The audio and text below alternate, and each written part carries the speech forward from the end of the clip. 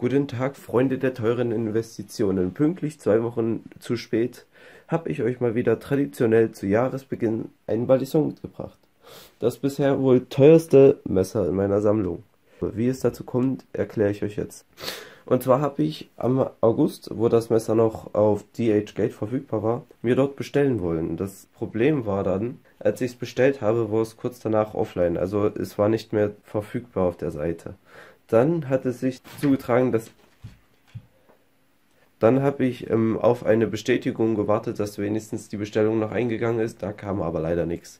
Und deswegen habe ich halt trotzdem noch gewartet, weil ich ein wohl sehr geduldiger Mensch bin. Und ja, das Problem ist, es kam nie was an. Weder eine Bestätigung noch das Messer. Das Geld habe ich dann leider dort nicht wiederbekommen. So, das zweite Mal, als ich versucht habe, das zu bestellen, ich habe es insgesamt dreimal bestellt, war bei Wish, weil es dort für eine kurze Zeit zur Verfügung stand. Da hatte es auch ein bisschen weniger gekostet. Leider war das genau dasselbe Spiel. Ich habe es mir bestellt. Ich habe keine Bestätigung bekommen, dass es eingegangen ist, die Bestellung. Ich habe auch keine Versandbestätigung bekommen. Ich habe gar nichts bekommen. Auch nicht das Messer. Aber das Geld habe ich an dieser Stelle wieder bekommen. Und dann habe ich es kurz vor Jahresende noch einmal bestellt. Und das war das dritte und letzte Mal, habe ich mir gedacht. Und diesmal kam am Anfang auch keine Versandbestätigung oder eine Bestätigung, dass überhaupt irgendwas eingegangen ist. Dann hatte ich kurz darauf die Bestellung storniert gehabt und war dann ein bisschen frustriert, weil ich das Geld dadurch natürlich auch nicht unbedingt direkt wiederbekomme. Später dann habe ich ähm, von DH Gate vom System noch eine Nachricht bekommen, ob ich meine Bestellung wieder aufnehmen möchte.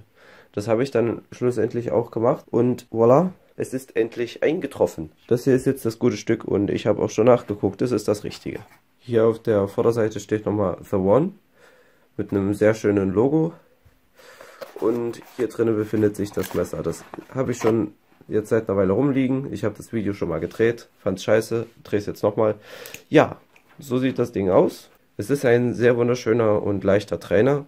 Dazu kam noch eine extra Hardware, damit man, falls irgendwas kaputt geht oder verloren geht, die Teile nochmal ersetzen kann. Plus eine Nylon-Tasche mit einer sehr schönen Verarbeitung und einer schönen Form. Aber egal, das legen wir mal zur Seite. Wir wollen uns ja das Messer hier anschauen. Das Ledge habe ich vorsorglich schon mal rausgemacht. Ich persönlich ähm, finde es überflüssig bei einem Balisson Trainer. Und ja, ohne Ledge flippt es sich sowieso viel besser. Wie man offenbar sieht, habe ich auch schon sehr viel Spaß damit.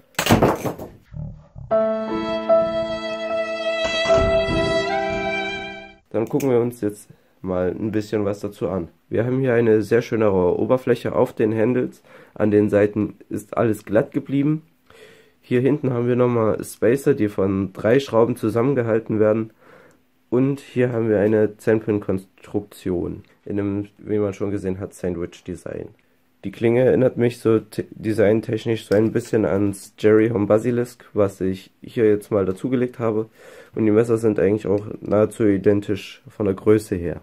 Von der Verarbeitung sind die halt nochmal ein bisschen unterschiedlich.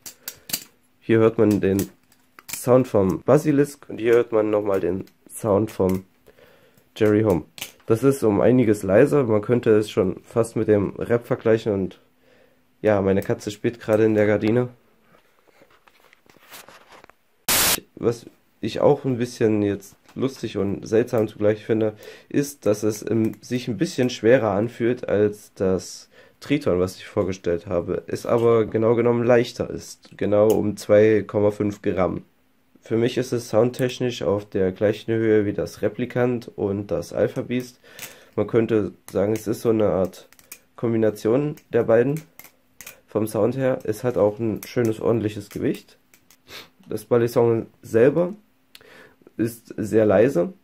Also man hört hier vielleicht nur ein leichtes Klicken ganz leise, weil es hat sehr wenig Handleplay. Aber da habe ich auch schon selber ein bisschen nachgeholfen. Also original muss man die Schrauben vielleicht noch öfters mal nachziehen. Ich musste nach ungefähr jetzt der ersten Woche mal die Schrauben einmal nachziehen und habe dann Loctite reingemacht und habe dann Paracord reingemacht. Und ja, seitdem musste ich jetzt die Schrauben nicht mehr nachziehen. Ich habe das jetzt schon so seit ein, zwei Wochen bei mir rumliegen. Wir haben hier auch einen wunderschönen Klingenfall. Ich habe die Schraube wirklich bis zum Anschlag angezogen und das, ähm, das Balisson wird dadurch nicht blockiert. Also es ist wirklich ähm, von der Arbeitung genauso wie das Home, nur dass es halt leiser ist. Ich kann's ja, wir können es ja noch mal kurz vergleichen. Das klimpert so ein bisschen rum, das ist persönlich nicht wirklich ähm, das Wahre beim Flippen, finde ich jetzt. Da finde ich diese Variante, wo das so schön leise ist, schon viel angenehmer. So, dann kommen wir mal ganz fix zu den technischen Daten. Wir haben eine Klinge mit 10,8 cm Länge. Aus welchem Stahl weiß ich jetzt noch nicht genau. Ich gehe in dem Fall dennoch von dem 440er C aus, weil auf den anderen Seiten wird es auch nur mit 440er C angeboten. Wir haben einen Griff aus Titan mit 13,9 cm Länge, haben eine Insgesamtlänge von 24,7 cm und ein Gewicht von 128 Gramm. In den Handles verbirgt sich zusätzlich noch die Konstruktion für das Latch und für die Zeitpins. So, und jetzt, wo wir da wieder zurück sind, nun sage ich euch mal eben noch mein Fazit. Also, das Messer ist in einer wirklich sehr schönen Aufmachung. Ich persönlich hätte es besser gefunden, wenn man diese Riffel auch hier an den Seiten gemacht hätte, weil dann kann man noch weniger wegrutschen. Das Finish selber ist wirklich sehr gut geworden. Die Handles haben auch ein sehr schönes Finish und sehen auch wirklich sehr gut aus, genauso wie die Klinge. Bei der Klinge ist mir aufgefallen, das sieht man jetzt aber leider nicht. Hier ist beim Schleifen ein kleiner Fehler aufgetreten und zwar ist hier eine Kante gewesen. Das ähm, hat man eigentlich gut gesehen, wenn man das ins Licht hält. Aber offenbar sieht man das hier auf der Kamera jetzt nicht. Das Design finde ich optisch auch sehr ansprechend. Wir haben hier eine kleine Anlehnung an Benchmade, also finde ich jetzt zumindest.